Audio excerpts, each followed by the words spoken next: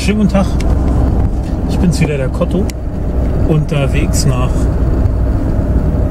Waldhausen. Nee, einfach mal wieder raus.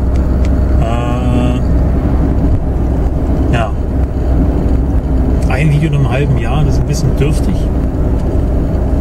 Aber ich krieg auch irgendwie nicht so viel, viel mehr hin. Äh, ich arbeite aber dran. Ist gar nicht so einfach, wie, sich, wie, wie man das gerne möchte.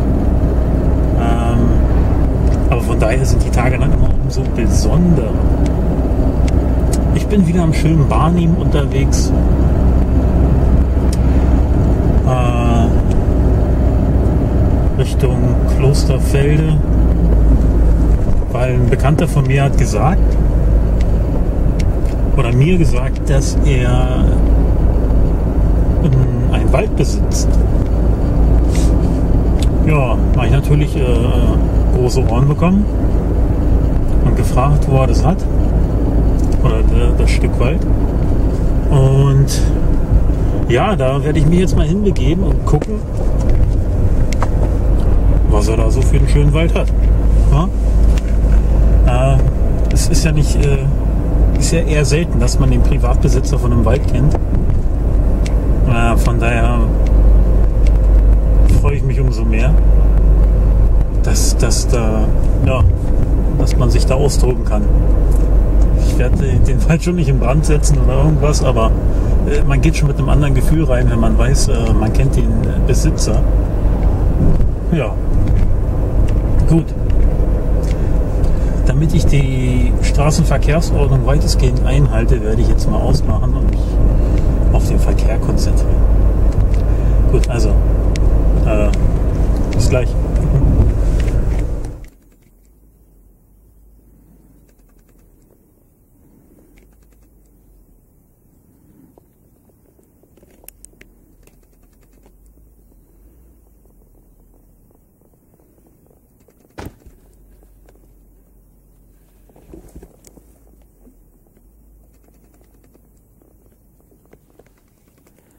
So wie es aussieht, hier Wildschweine. Das ist jetzt keine große Überraschung, aber ein paar Spuren sind ja nun doch dann deutlich. Und es ist gut zu wissen. Weil ich suche mir für heute auch noch einen Schlafplatz.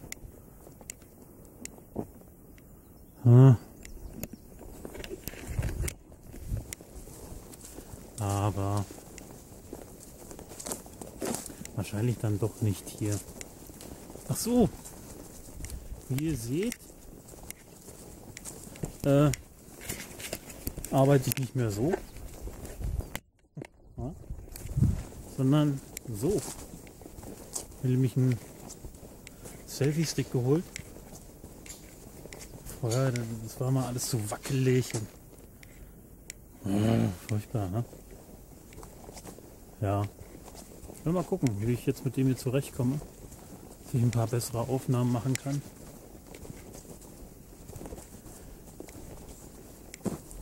Hm. Mal schauen. Ich glaube, das ist auf jeden Fall besser. Ich wackel nicht so. Man sieht nicht nur die ganze Zeit meinen Schädel. Dem wahrscheinlich keiner scharf ist. ja. Einfach mal ein bisschen mehr Gegend zeigen, wenn ich so ein paar Aufnahmen mache glaube, das kommt ganz gut. Ja, einfach mal ein bisschen rumprobieren. Ich habe auch eine andere Kamera jetzt genommen, die davor, äh, aber das vorletzte Video, was ich aufgenommen habe, ja, die Kamera hatte doch einen ziemlich lauten Motor drin. Ob es jetzt vom Fokus ist oder vom Zoom, keine Ahnung. Aber es klang wie so ein alter 8 mm Schmalspur-Film. Das ist ja bescheuert. Die ist, glaube ich, ein Tick leiser. Hm. Ja. Gut. Ich bin durch den Wald. ja, er hat gesagt 150 Meter breit, ein paar hundert Meter lang. 600, 700 Meter ist er, glaube ich, lang der Wald. 150 breit. Ist jetzt nicht unbedingt das, was ich mir vorstelle unter ich gehe in den Wald, um in Ruhe einen Schlafplatz zu finden. Schön sieht er aus, schöne Bäume, recht, oh, geschossen.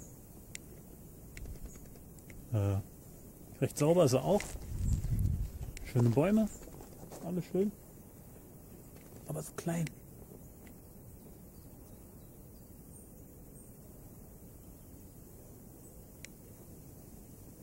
Irgendwas höre ich. Entweder ist da hinten eine Werkstatt oder. Ups. Oder da hat jemand irgendwas äh, erschossen. Keine Ahnung. Ja. Also zum Basteln komme ich hier gerne her.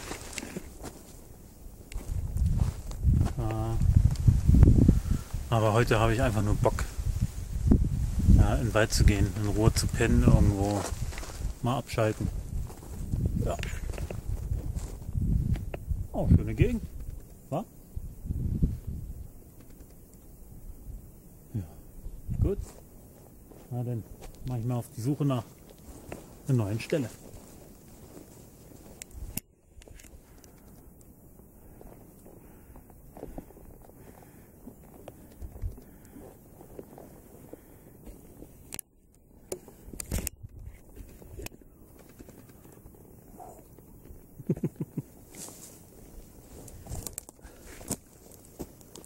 Ich muss leider meine Tour abbrechen.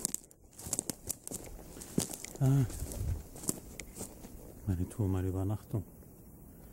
Mir jetzt tierisch im Bauch rum. Krieg Magenkrämpfe. Ich habe am Mittag äh, alte Pizza von gestern gegessen. Hat mir auch so nicht wirklich geschmeckt, aber ja, jetzt habe ich den Salat. Ich meine, im Wald auf Toilette gehen kann jeder, ist kein Problem, aber aber alle fünf Minuten. Nee. Die sind anstrengend. Ich schwitze schon wieder. Scheiße. Bisschen anstrengend gerade. Ah, ich werde die Tour aber nachholen. Gut, sorry. Hätte gern mehr gezeigt, aber immerhin bin ich äh, um einen privaten Wald reicher geworden. Zumindest um die Erlaubnis hier Buschkräften zu dürfen. Gut, im nächsten Video zeige ich äh, meine Ausrüstung für Norwegen. Ich habe nämlich dieses Jahr wieder vor, nach Norwegen zu fahren, eine Woche. Yeah! Freue mich schon tierisch drauf. Ähm, in meinem Rucksack, den ich heute auch entsprechend gepackt habe, habe ich mich äh, schon reduzieren können. Bei der letzten Tour vor zwei Jahren war ich auf 19 Kilo, fast 20 Kilo, 19,7. 19,8. Jetzt bin ich auf 13,4, 13,7 Kilo.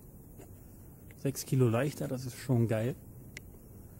Und äh, ja, kann ich euch mal zeigen, was drin ist beim nächsten Mal. Aber heute ist äh, heute schlecht. Ich habe aber auch noch eine schöne Stelle gefunden. Ich habe da gleich in den Aufnahmen vorher schon gesehen. Hier ist ein. Ach, das sieht man immer nicht, wie es hier auf und ab geht. Das sieht immer alles gerade aus. Das ist aber nicht. Hier sind ein paar schöne. Keine Berge, aber hier sind ein paar schöne Senken bei, ein paar schöne Erhebungen. Ich glaube, hier kann man doch ganz gut pennen. Äh, zumindest von meiner Hängematte. Und auch generell einfach mal für so ein kurzes Buschkrafttreffen. Mal schauen. Ich finde es gar nicht so schlecht hier. Ach, und der Schuss, den ich da gehört habe, das war kein Schuss. Ich glaube, das war Forstbetrieb. Da ist auch eine, eine Fabrik irgendwo da hinten. Hier wird nicht geschossen. Gut. Gut, in diesem Sinne verabschiede ich mich. Vielen Dank trotzdem fürs Reingucken. Und beim nächsten Mal gibt es ein bisschen mehr Action. Oder mehr interessantere Sachen. Gut, also reingehauen. Also der ist auch so, so, so klein wie der Wald doch sein mag. Der sieht schon cool aus. Ich meine, hier gibt es Dinge. Ich zeige euch das mal. Wer kennt sie nicht, diese Korkenzieherkiefer?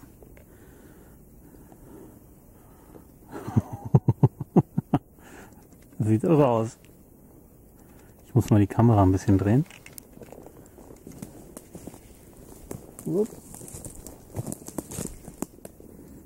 Da. Ich glaube, das ist blöd, wenn man die Kamera dreht.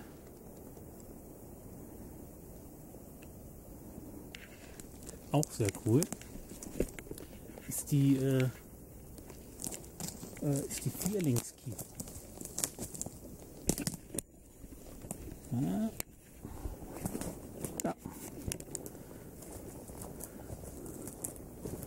Oh, nee, Drillingskiefer. Ja, fast vier links. Ja, sieht ziemlich cool aus. Ich habe noch keine gesehen, aus der drei äh, Stämme wachsen. Überhaupt sieht der ganze Wald doch ziemlich verknöchert und ja, verwurstelt, verknorpelt. Keine Ahnung, wie nennt man das? Das sieht schon abgefahren cool aus. Ein kleiner Märchenwald. Fehlt jetzt nur noch irgendeine Hexe, die hier rumkommt. Naja, mal schauen.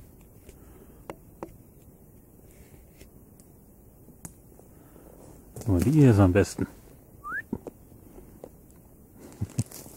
Auch ziemlich beeindruckend. Hier gibt es weit und breit nur Nadelbäume, Kiefern. Aber doch hin und wieder hat es eine Eiche geschafft, sich zu behaupten. Da hinten haben wir auch eine. Der da. Schöner Wald. Ja, klein, aber auch hoch. Sicher kann man sich hier auch fühlen. Die Waldpolizei ist hier zu Massen vertreten. Boah. Ich zeige euch das mal gleich.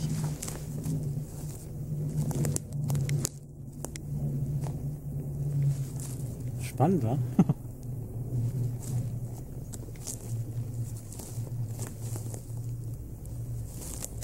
Sag mal.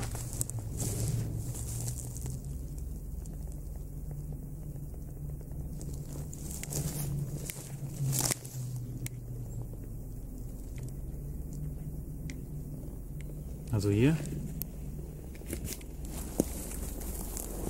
Könnt ihr da was sehen? Wie sich der Boden bewegt? Ich denke schon. Ich muss das Stativ ein bisschen umstellen. Kann ich das jetzt runterhalten? Moment. So.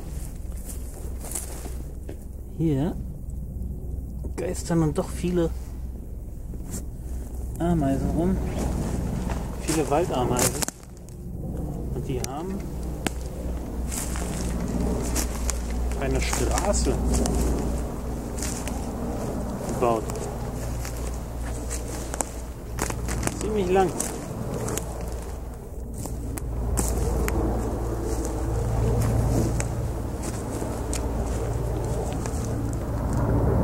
Bis nach da hinten. Seht ihr das? Man sieht richtig, wie die aufgeräumt haben. Und dann haben wir hier den einen Haufen. Ziemlich groß ist. Und da hinten den anderen.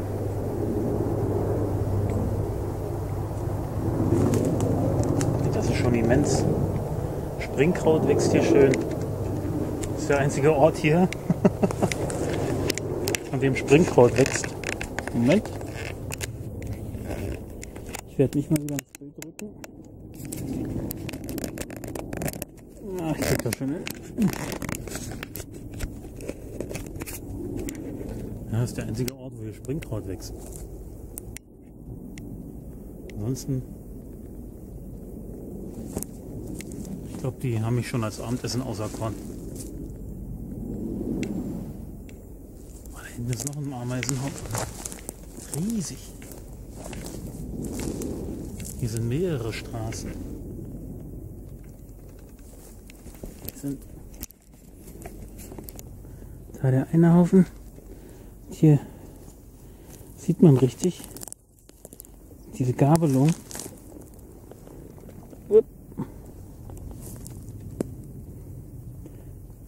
Durch den ganzen Wald zieht sich die Straße. Hinten durch. Upp, ist mein Hund da? Und so weiter und so fort. Milliarden! Irre.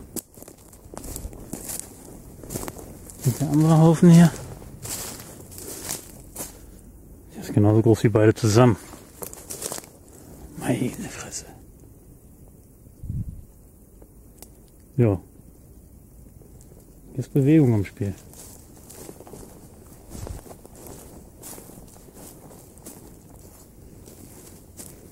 Ja, hier tritt man überall auf irgendwelche Ameisen. Sorry, aber ist nicht mit Absicht.